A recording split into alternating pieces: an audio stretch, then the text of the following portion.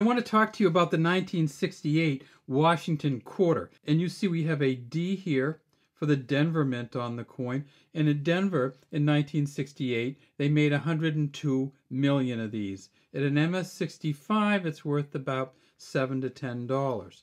Up here we see there's no mint mark. And so that means this is a Philadelphia coin and the little chip in it. And I think this is a mint dent just because of the way it went. But it doesn't go down all the way to the core, because the core of these, of course, is a copper core. At the Philadelphia Mint in 1968, they made 221 million, and this coin here is probably worth five to seven dollars.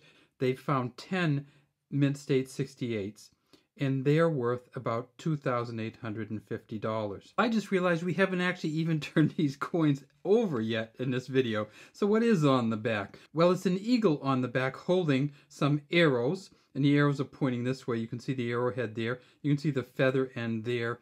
And if these are in really, really good condition, you can see a line through the middle of the feathers. United States of America around the top, E pluribus unum right over the eagle's head. When we look down here, we see it says quarter dollar. These are copper nickel clad copper coins. Denver Mint, they found 14 MS68s, and they're worth about $3,400. Finally, it is the San Francisco Mint, where this S is from, this is the first year ever of a San Francisco Mint proof quarter. The proof quarters before 1965 had always come from the Philadelphia Mint. This is a proof coin, so it's not going to be an MS at all. It's going to be a PR or Proof 69. They found 43 of them, and it, the Proof 69 goes for about $1,200.